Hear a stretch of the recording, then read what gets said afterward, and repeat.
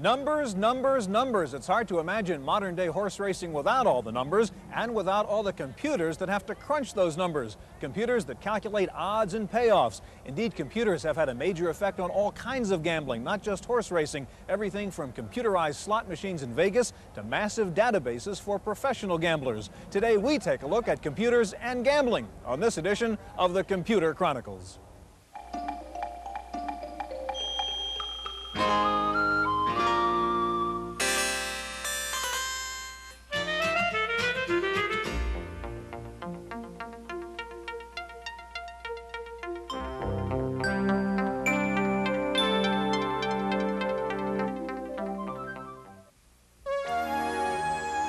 The Computer Chronicles is made possible by Leading Edge, makers of IBM compatible computer systems, including word processing with spelling correction, communication software, and Hayes compatible 1200 and 2400 baud modems.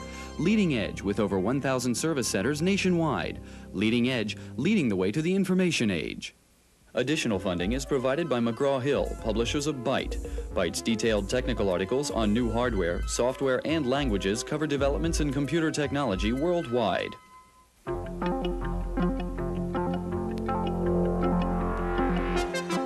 Welcome to the Computer Chronicles. I'm Stewart Cheifet, and with me this week is George Morrow. George, you got kind of interested down there at the racetrack, so I got a daily racing form uh -huh. here and this little computer. I enter all the data here from the racing form into the computer, and the computer predicts which horses are most likely to win the race. And we'll see if it works. Seems to me using a computer to figure out which horse is going to win a race is really the same thing as using a computer to figure out, say, which stock is going to win on Wall Street. I think you're right, Stewart people that do this for a living uh, that give you odds on horses are handicappers. Mm -hmm. People that uh, do the same thing this, or advise you about stocks, I think they admit, admit to handicapping a stock. So here, computers are helping you form judgments. They're an analytical tool. Mm -hmm. There's another aspect of gambling, which is the chance part of it. And there, in games of pure chance, I think computers are being used to help you entertain yourself as you put your money in these machines. George, we're going to see both those examples, in fact, on the program. We're going to start out by taking a trip to Reno, Nevada to see how computers have revolutionized the casino business.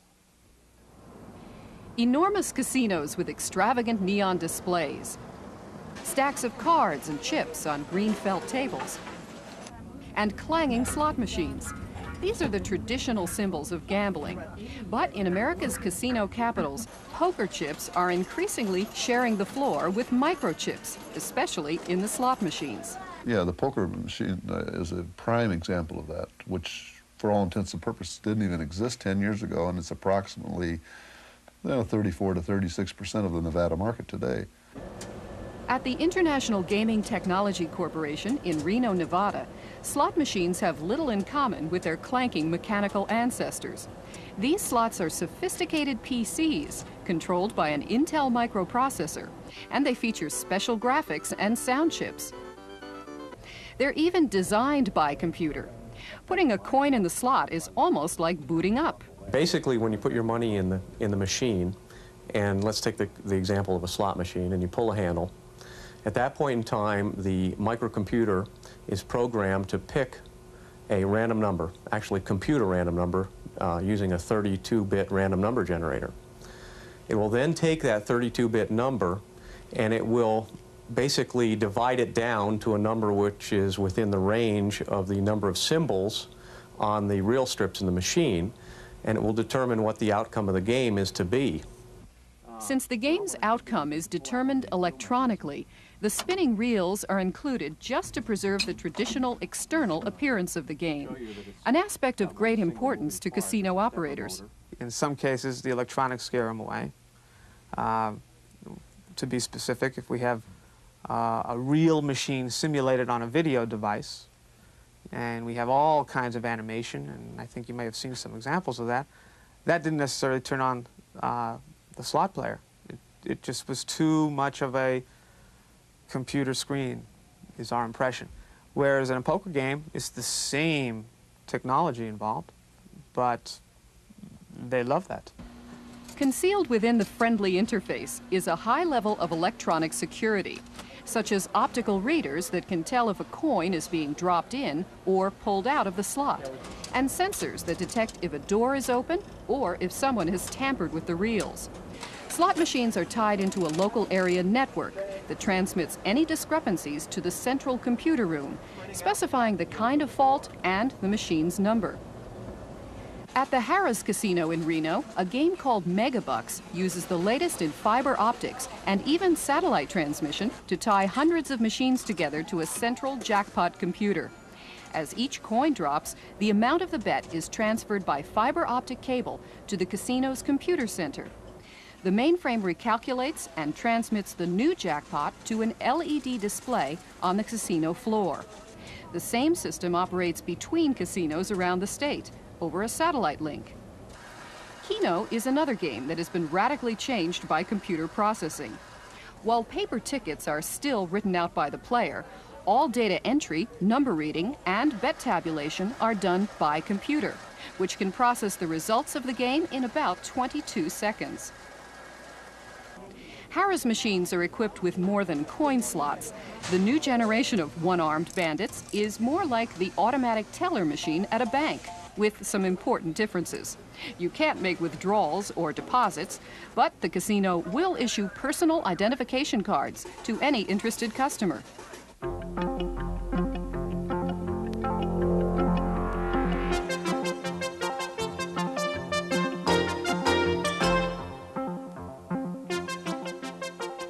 Joining us in the studio now is Robin Cobby. Robin's president of Computer Sports World, and next to Robin is Roxy Roxborough. Roxy's an odds maker from Las Vegas and generally considered to be the top odds maker in the country. George. Wow. Robin, uh, Computer Sports World is a database of sports statistics. It's owned by the Chronicle. How does that work together? Uh, well, many newspapers in the last several years Ah. have wanted to get involved in new forms of communication and, and communication database services. And Computer Sports World was one of those companies that was out there that was in a, a good market, Mm-hmm. it was a good concept, and it was something that the Chronicle was very interested in pursuing. So, This is almost a unique database. Does Yes, anybody else is. offer anything like this? Uh, not exactly like this. Um, we're an online database, which means that if you have a computer and a modem or a communicating terminal, you can sign on to us making a local phone call 24 hours a day. wow. And you'll Ro- get and Roxy, you use this database. Yes, we, it's an instrumental uh, part of making the odds. What's your opinion of it? Well, I think it's fantastic because it uh, takes a lot of time away that I used to have to uh, spend doing handwritten notes and keeping a lot of uh, So it keeps track of everything that you need to know to make odds. Right, and it files and organizes everything. Were you able, in fact, before you had computers and databases like this, keep track of, I mean, the incredible volume of stats and numbers to, to make odds? Well, um, we did, we made do, but we do a much better job now. So you feel that you're a lot more accurate having this database. Much more accurate, and you know, you have to remember the gamblers have this da database Right. too, so uh, that's one of the reasons we need to keep on top of it. Are you aware of people in the gambling business that use it as extensively as you do? Um, yes, there are, there are players, gamblers that use it, yes. Mhm. Robin, let's take a look at the system now and show us the kinds of things you can get out of this database. And we're online right now to your service, right? Right. Uh, the first thing we're going to want to do is, right now we're looking at it live, so we're watching the uh, information come right in. Uh, the first thing a subscriber would see, it's very easy to use. You'd get, you only go in by entering three-digit codes, and you'll get a menu that looks like this that'll lead you to that. Right now, we're looking at information coming in live. If I'd like to look, if I want to look at a matchup, for example, which is a file that Roxy uses quite a bit, I type in three digits, it immediately comes up. So you This can is go anywhere This is an system with three NCAA basketball matchup, yes. Three Okay. digits. What do you get from that, Roxy? Where we have Georgia Tech at DePaul, I see right away that DePaul's 13 and 0 at home. That means they're unbeaten on their home court. That's going to make them a pretty good favorite, even over a good ACC team like Georgia Tech. I can see that Georgia Tech's only 6 and 6 on the road. It also shows me all their spread records, and it shows me the last five games that each team's played. Okay, so you can get home field advantage, all that kind of stuff. What about uh, NBA basketball? Uh, show us an example there, Robin. Well, we, uh, we got box score we can take a look at. Uh, after each game is over, we go over the box scores to make sure that all the key players for both teams played. Here's a game where San Antonio played Dallas last night. Mhm. Now, San Antonio's players are coming across right here where all their starters played and their major reserves. And then we'll check Dallas. And this is something you would do every day. Yes, after each game is What over. What does this show you? Well, right now I see where Dallas' star point guard, Derek Harper, didn't play. In fact, he wasn't even a reserve. So I'll have to find out why. Beautiful presentations. Okay, and how do you do that? What are you doing, Robin? We go right to the injuries, 314, Okay, so the you've got a special for injury NBA. database. Right. Right, and then we'll check up to see if they have any reason ma- maybe um, Harper didn't play last night for Dallas. Okay, so let's get to Dallas. And what's it tell you? Well, it says that uh, Harper's got an infected toe, and also reserve guard Al Wood's got a strained left shoulder. They both missed Friday's game. They're expected to see limited action, if any, on Saturday, so I know that when they play Golden State tonight, I'll have to make some slight adjustment in the line. Okay. What about baseball, Robin? That's a statistics crazy game. What can you show us on baseball? Uh, baseball, let me show you the index of our baseball statistics. Um, this is where we really uh, have a lot of statistics, base baseball being so statistical. And we do go back several years. Look at that, yeah. So you can see how left-handed pitchers do versus right-handers, how you do on AstroTurf versus grass, how pitchers do after so many days off. Uh, it's all there. And it's very easy to get at, too, isn't Yes. it? And three Roxy, you would use all, all this stuff in, in Well, putting I- a line on a baseball game? I use a lot of it. The keys are how the teams do against righties and lefties and uh, day-night performance also. Okay, can you tell us who's going to win the pennant this year, Robin? Uh, we do have the odds on that. We're probably one Already of the first up there. Roxy provides that with us. Well, if you're a New Yorker, you'll probably be happy because we've got both New York teams favorite, the Mets to repeat and win the National League, they're 7 to 5 favorites, and the Yankees to be the American League champions, they're 7 to 2 favorites. Roxy, there's lots of different sports that people gamble on, obviously. I was wondering, any particular sport in which the computer is really a big advantage? Yes, it's the biggest advantage in college basketball because we have to chart and track 162 teams. There's thousands of variables, there's injuries to chart for every team. There's just so much that without this service it would be almost impossible. Huge database, then. Yes. I guess, Robin, as you said, you're the Dow Jones of the sports world. Of the sports world, right? Robin, Roxy, thank you very much. As we saw at the beginning of the program, horse racing depends very much on computers for its betting system, and one of the newest and most modern computerized betting systems is here at Golden Gate Fields in the San Francisco Bay Area. Wendy Woods has that report.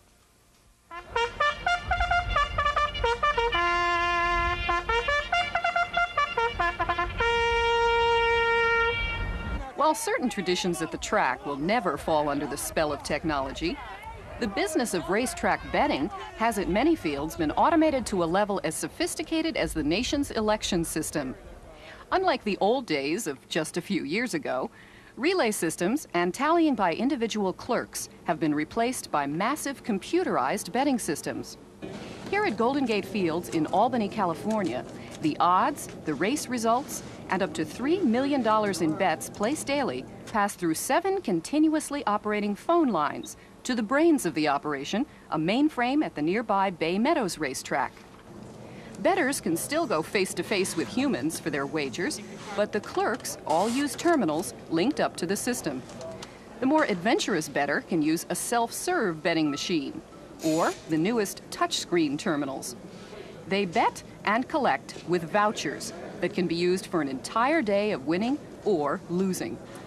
Even the tote board on the track is controlled and automatically updated by this one computer system. Marty Miller of Amtote is the brains behind the operation. It's actually very simple because uh, we have access to the computer at Bay Meadows, and I can go back to just any window in the plant here and tell them exactly where they stand with their wagers, how many tickets they've sold, what they have done in their last four transactions. Sometimes if they forget where they are, we can help them balance out. He adds computerized betting is not only efficient, it's honest. 22 years, every penny that we've ever handled in, in mutuel handle has been accounted for. It, uh, we know exactly what each clerk sells.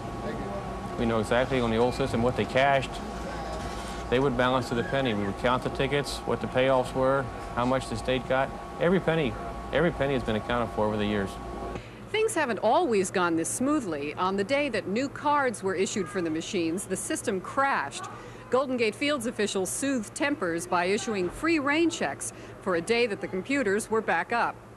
Amtote's computerized betting systems are installed in thousands of racetracks worldwide, and that's a pretty good track record. In Albany, California, for the Computer Chronicles, I'm Wendy Woods.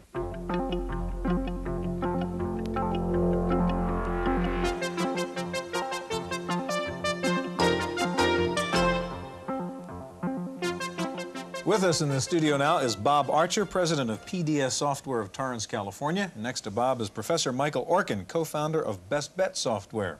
George. Mike, uh, Roxy is a really good, skilled odds maker, and he seems to have an edge by looking at the data and understanding where he can get access to it, but he doesn't seem to be using computers in, and doing any analysis. Can you comment on that? Well, if he had a program that picked the lines and there was mm-hmm. a bias in it, the bettors would pick up on it mm-hmm. any slight bias, and they would start betting accordingly. Mm-hmm. And as a result, he'd get locked into a system that would cause the bookmakers to lose. But can, couldn't he use a program to keep track of that and to modify that and to actually become a better odds maker? Well, I'm sure he, he uses computers to keep up with data, but if he had a program that actually picked the line, he would have to keep modifying it. Um, because if there were any biases, and maybe some would occur from time to time. But when he picks a line, he is going through analysis. That's right. But it's a very dynamic process. Ah, and I he see. has to keep up with what's going on. And there's so many factors that for him to get locked into a program uh, would, So could he be very does, he- he- dangerous. right now, he's doing better by staying away from a program.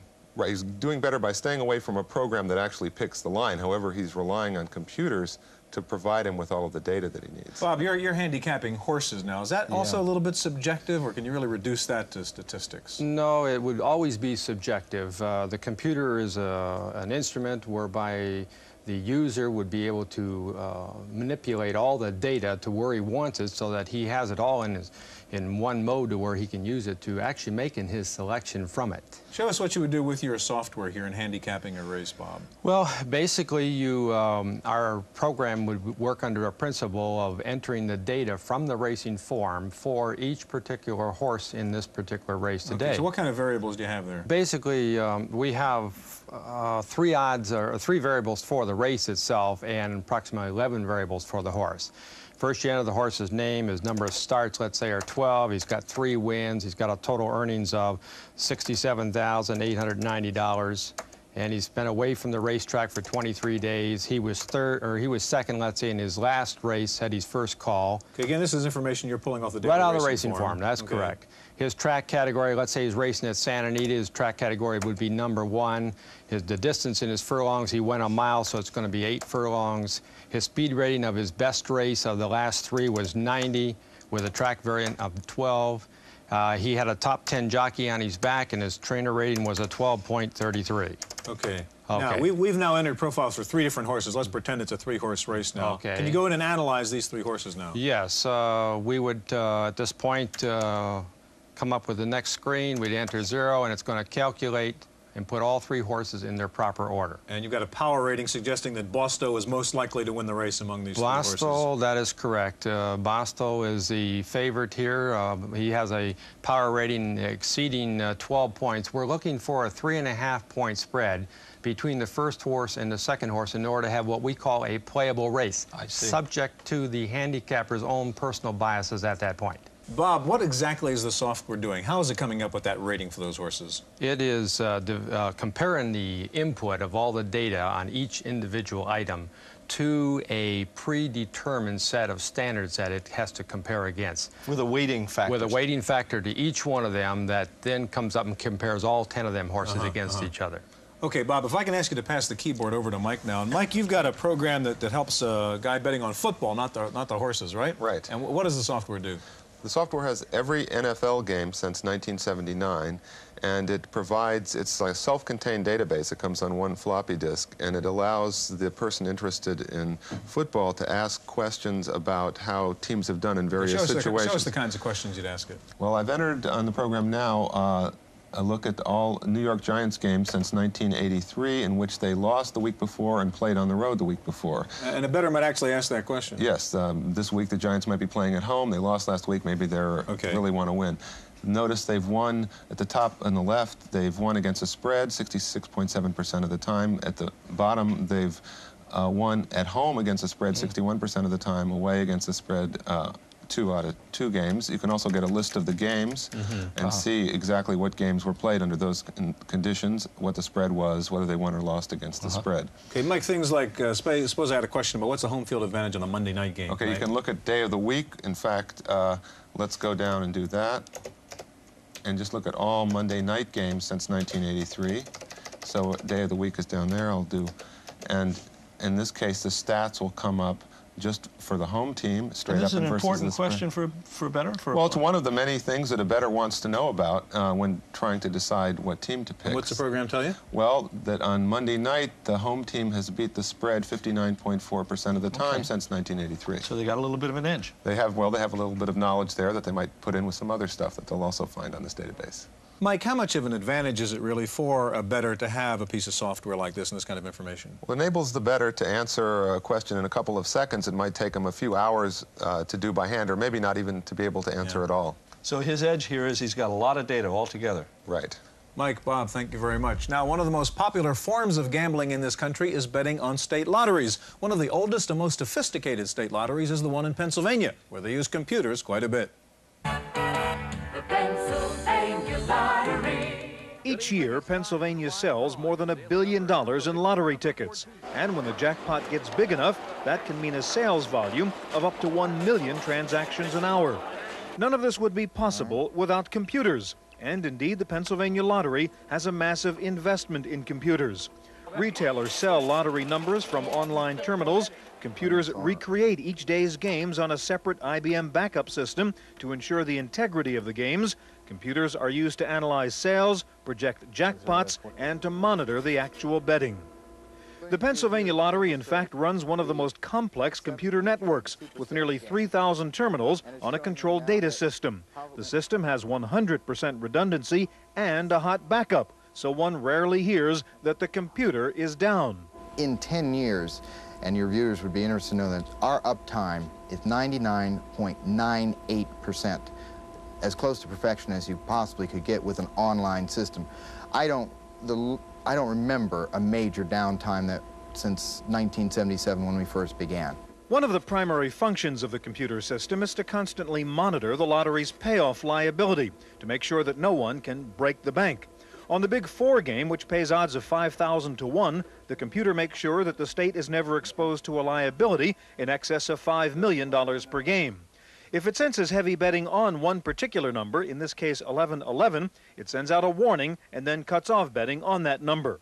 Heavy betting on a particular number often occurs because lottery players tend to follow common patterns in picking numbers. For example, when years ago when Pete Rose was with Philadelphia, and he had his uh, certain number of uh, hits. They played that number. They'll play the Super Bowl score. They'll play uh, the Jewish New Year. They'll play the Chinese New Year. While the computer system assures a random drawing every time, the law of averages takes a while to work. We've had over 3,100 daily number drawings, pick three drawings, in 10 years. However, there are, oh, two or three dozen numbers that haven't come up out of uh, 3,100 drawings, and there are only a 1,000 numbers.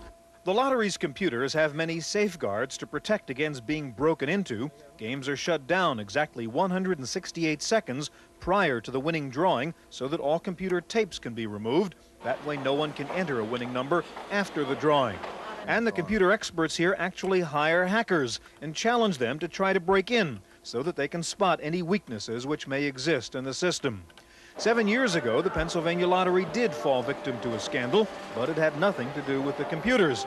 Most of the balls which are used in the drawings were weighted so that only sixes would rise to the top.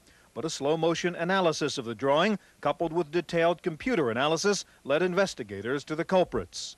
Offline processing showed exactly where these bets were coming from. We went to those retailers, found out who was sitting in the white Cadillac placing all those bets, and basically were able to convict on the computer evidence. But despite all the computers, when it comes to calculating the payoffs, no one trusts the computers.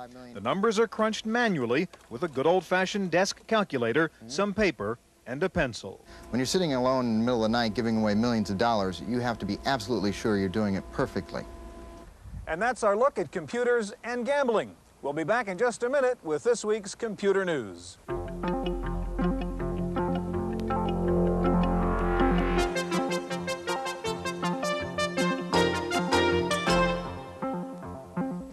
Susan Chase sitting in for Stewart Cheifet in the Random Access File this week.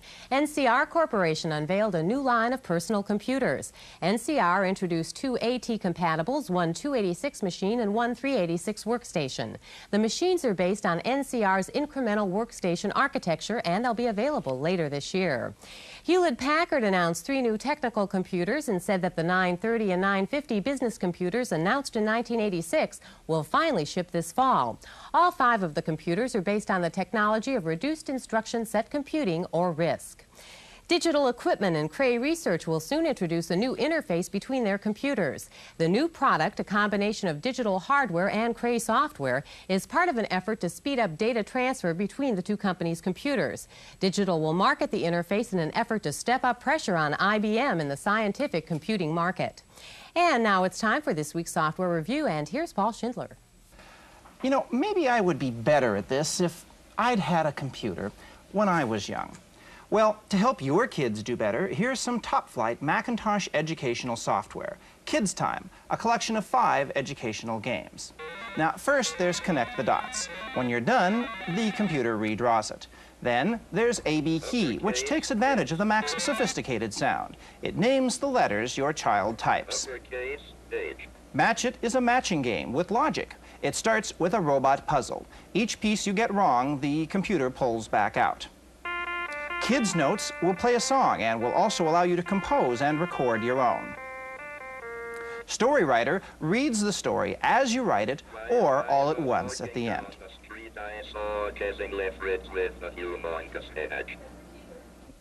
Kids Time is world-class educational software for the Apple Macintosh, $50 from Great Wave Software in Stanford, California. For the Computer Chronicles, I'm Paul Schindler. News from the Spring Comdex in Atlanta has started to trickle in. Sharp plans to introduce two portables, one a clone of the PC-AT called the PC7200, and the other, the PC4500, is compatible with the PC-XT. And Samsung will show off its new clones. The SAM88T is designed to be XT compatible, and the SAM286 is an AT compatible machine. Finally, Japanese companies are working on a new method of software distribution that is designed to eliminate software piracy. Called the Software Service System, the product is a box that attaches to existing computers or could be built into new computers. Software would not run on the computer until the box authorized it. Users would purchase a special card to activate the box and give credit for any software the user wanted to buy. Users would be encouraged to copy software, but be prevented from using it without paying for it. And that's it for this week's Computer Chronicles. The Computer Chronicles is made possible by Leading Edge, makers of IBM-compatible computer systems, including word processing with spelling correction, communication software, and Hayes-compatible 1200 and 2400 baud modems. Leading Edge, with over 1,000 service centers nationwide. Leading Edge, leading the way to the information age. Additional funding is provided by McGraw-Hill, publishers of Byte. Byte's detailed technical articles on new hardware, software, and languages cover developments in computer technology worldwide.